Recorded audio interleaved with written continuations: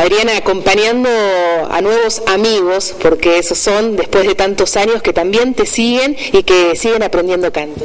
Sí, siempre es un gusto eh, tener una experiencia nueva, un proyecto nuevo en la escuela y poder transmitírselo a la, gente que, que, hace tantos años nos acompaña. Así que, bueno, contenta de que ellos puedan participar de este nuevo proyecto. Hablábamos de proyectos anteriores que tienen que ver con sacar un CD cada uno de ellos y, bueno, después luego mirar la tapa, que es eh, realmente muy emocionante. Sí, la idea es que siempre tengamos un proyecto nuevo. Cada proyecto es un desafío, es eh, tener una experiencia diferente que a lo mejor quien canta no está acostumbrado a tenerla. Desde las muestras todos los años, en diciembre hacemos una muestra anual donde todos los alumnos cantan eh, dos canciones, eh, se hace en un teatro en Capital, en Teatro La Máscara en San Telmo.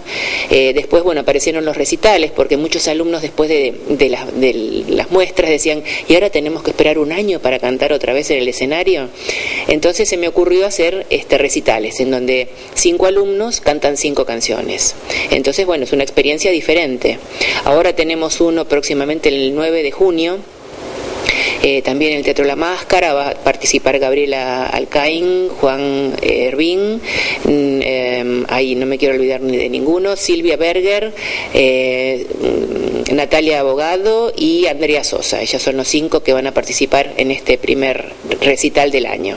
Eh, imagino que acompañan las familias, pero también los compañeros y a su vez sus familias. Es muy lindo, es una experiencia muy linda, todos se ponen muy nerviosos porque, bueno, toda la adrenalina que es necesaria también que, que aparezca, este, bueno, empieza a, correr en esos momentos. Y es cierto, vienen toda su familia y, los compañeros, ¿no? Esto de apoyarse, de saber este, lo que cuesta, a lo mejor en, cuanto a los nervios y a la expectativa, pero el apoyo de los compañeros es maravilloso.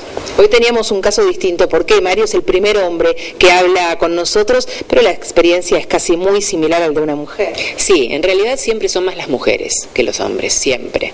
Este, pero hay muchos hombres que se deciden a venir y, bueno, forman parte del mismo grupo y es muy lindo. Lo importante es que las clases son individuales, sin embargo aquí se habla todo el tiempo de grupos. En general las clases, la mayoría de las clases son de a tres, eh, de a tres alumnos, entonces incluso se van rotando. Tiene una, una ventaja que es el, hecho de, escuchar a otro también sirve para aprender uno. Cuando uno canta, eh, bueno, yo voy corrigiendo y voy trabajando sobre ese alumno, pero mientras tanto el que escucha también va recibiendo otras este, indicaciones y también sirve para el aprendizaje. Y también se va relacionando y van conociendo canciones que a lo mejor no conocían. Entonces, eh, ay, bueno, yo te voy a robar esa canción, aparece, ¿no? Entonces empiezan a cantar canciones que a lo mejor en géneros diferentes. Chicos que a lo mejor cantan rock, escuchan un tango y dicen, yo quiero cantar un tango, a ver qué me pasa. Esto de cambiar de géneros también es una manera de enriquecerse. Hablaban también de la diferencia de edad, porque hay alumnos muy jovencitos y sin embargo también hay una abuela que los acompaña. Sí, este, hay chicos desde los 9, 10 años, hay grupitos de chicos, niños, adolescentes y adultos. Eh, bueno, este, tenemos una alumna de 84 que, bueno, es una piba, realmente es un placer que comparta con nosotros su energía, su alegría. Este, y esto de cantar creo que también hace que ella tenga esta posición en la vida, ¿no? Esta, este entusiasmo y estas ganas de siempre tener un proyecto. Cuando uno tiene un proyecto, la cabeza funciona de otra forma. Y el hecho de tener un proyecto, de cantar una canción, de presentarse una muestra, de sacar un disco, de hacer un recital, creo que también favorece. Eh, tenemos un lugar donde la gente puede llamar, donde se pueden acercar, porque en todos los casos vemos algo muy particular, que son muchos los años en que te están acompañando.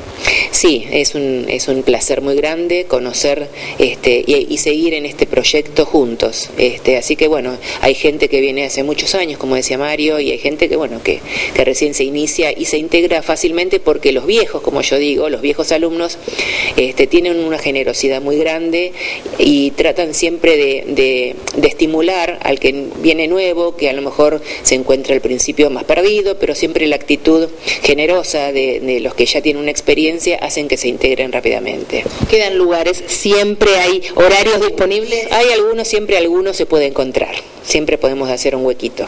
Y el teléfono es 4247-5560. Gracias. A ustedes.